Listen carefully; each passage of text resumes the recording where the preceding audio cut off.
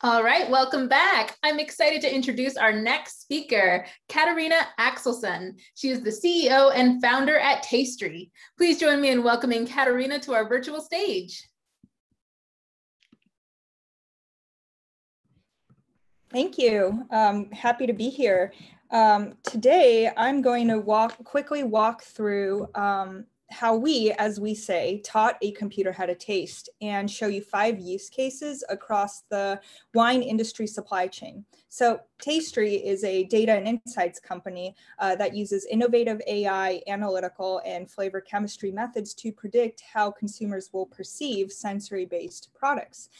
Um, the concept of Tastry uh, was born out of a custom crush winery in the central coast of California. I went to Cal Poly University and I paid my way through college by working as a chemist at various wineries um, that's where I noticed idiosyncrasies with how wine was made and then marketed and sold.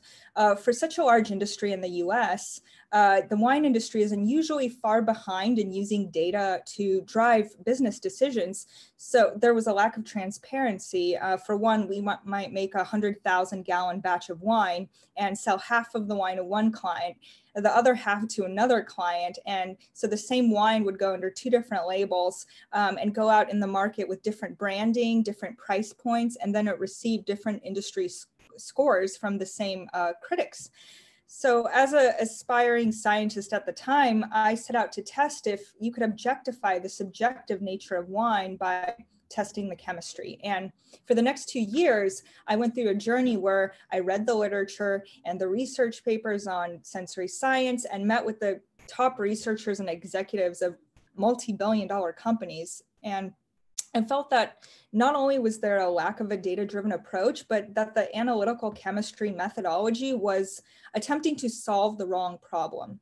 So the, the status quo was to test for the presence of a compound, for example, benzaldehyde, one of the several compounds that express the cherry flavor in a product.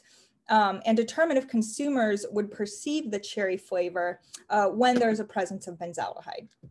There are two problems with this approach.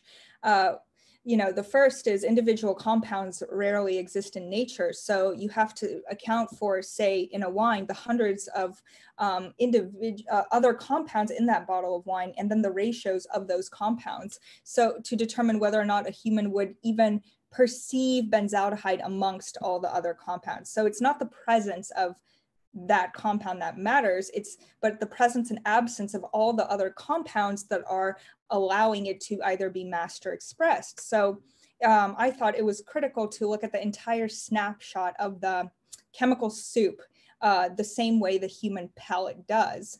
And this is what we call the flavor matrix. And the second problem is even if you could determine that benzaldehyde in a given ratio produces the cherry flavor to people, it's a very poor predictor of whether or not a consumer would actually like the product because you could identify as liking cherry, but there's thousands of flavors and it's unlikely you'd like them all. But even in the unlikely event you do like all those flavors, um, it doesn't mean you would like it with say mushrooms. So the context of the flavor definitely matters. So over the next few years, I developed a new analytical chemistry methodology that looked at chemistry the same way that a human palate would and as an entire snapshot. And I was gathering millions of data points per sample and realized that it would take thousands of years to process this data set. So I uh, contacted the head of the master's program in computer science and mathematics at the university, and he gave me a half hour meeting just to answer some of my questions. But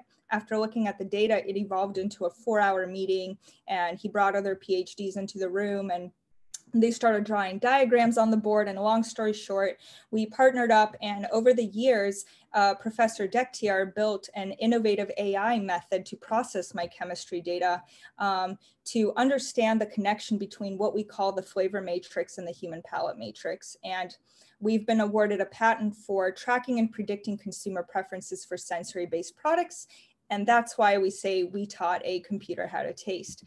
So our advantage was that we had a very high quality data set that only we own and can generate. And the challenge was that we couldn't go out and buy the data um, or obtain it somewhere else. So we had to generate the data ourselves. So we generated the chemistry data in our lab, but we needed consumer palate data in the market. So we wanted people to be motivated to give us honest answers. So we launched a consumer facing product that generated personalized wine recommendations to consumers in grocery retail.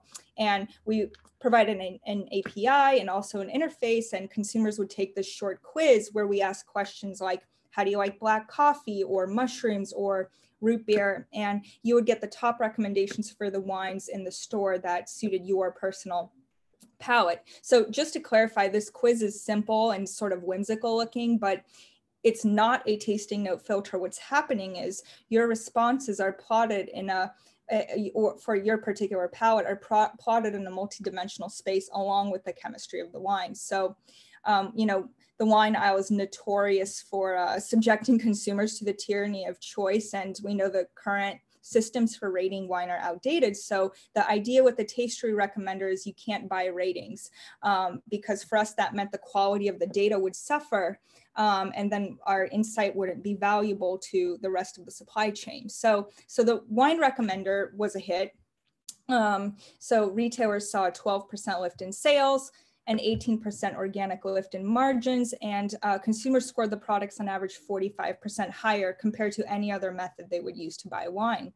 And we continued uh, expanding um, across the US. And, and as we did this, something interesting happened. We, we were generating a heat map of consumer preferences. So you could plug in a SKU in this heat map and see what percentage of the population your product would match to in the top X percentile, and you can see your competitive landscape or your target store zip code or region. And we took this data, provided it to our retail clients um, on our dashboard, and they who were using our wine recommender, and they started using this to optimize their product mix on the shelf to better cater to the preferences of their consumers.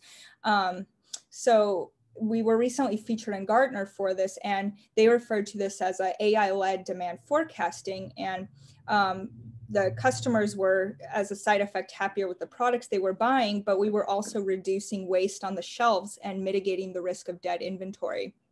So when COVID hit um, and ecom exploded, uh, we accelerated product development for an insights dashboard where the wine brands would also access this heat map. So wineries would send us their product to test at our lab and then would access this data to see where their opportunity was in the market. So you might be selling your product in Boston, but we could identify in South Beach, Florida, you have a much higher match rate to consumer palates and your competitive landscape is better. And these are the type of consumers who would buy your product repeatedly. And, and this brings me to the final two use cases. So amidst all the excitement, um, we were approached by a very large wine conglomerate and they were curious about our technology.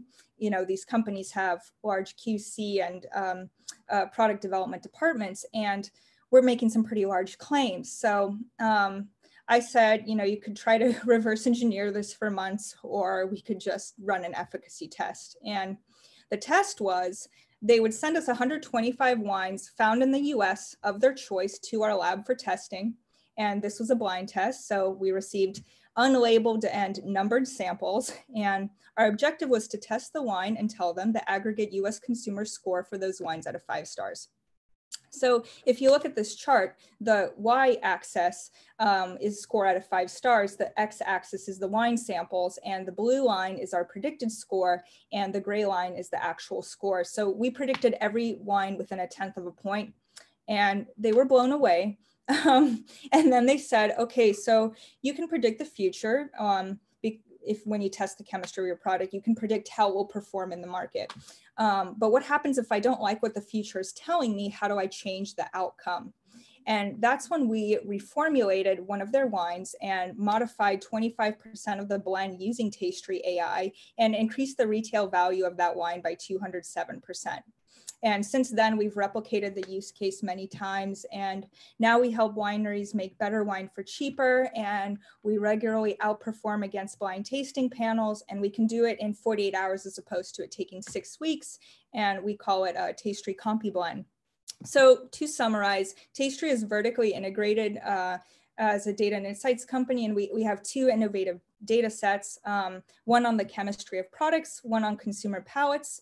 And that when we combine these two data sets, we can provide truly personalized recommendations, market insight, and product formulations. And every product we have um, has the advantage of generating this unique data. And as a vertically integrated business, we're starting to see the flywheel effect of this data. So the more wine brands we onboard, the more consumers are happy, the more retailers uh, want to provide recommendations, and the better products we can formulate. So our vision is to provide transparency and insight throughout the entire supply chain. So consumers know what to buy and where, uh, retailers know what to sell and where, and manufacturers know what to make and who to sell it to. Tastry, we taught a computer how to taste.